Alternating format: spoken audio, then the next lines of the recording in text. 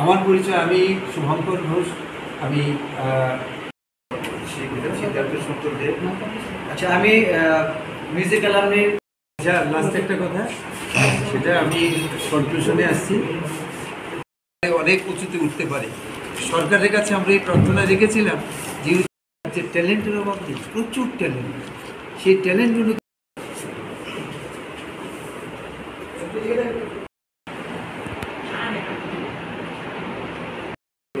মহারাজ যে সঙ্গীতটাকে ত্রিপুরা রাজ্যে আমরা সংগীত বিষয়ে বর্তমান সরকারের আমলে আমাদের যে সংখ্যাটা, সেটা শুধু স্কুল ভিত্তিক, যে স্কুলের যে সংখ্যাটা, সেভাবে তিন চারজন নিয়োগ হয়েছে, সেটা কিন্তু সেই সংখ্যাটা খুবই আপনারা নিজেরা জানেন। কিন্তু সেই পোস্টগুলো এখন মোটামুটি প্রায় ফুল আপ হয়ে গেছে। বারোখানা পোস্ট ছিল বাট এখন ম্যাক্সিমাম হয়ে গেছে।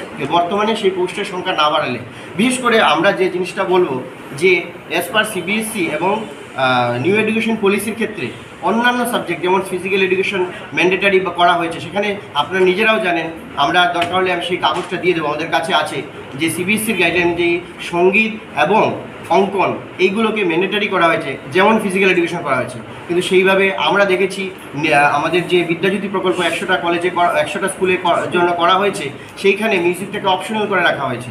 অর্থাৎ হেডমাস্টারের অধীনে, হেডমাস্টার যদি চান, তবেই নিতে পারবেন। কিন্তু আমরা কেন এই বঞ্চনার শিকার হব?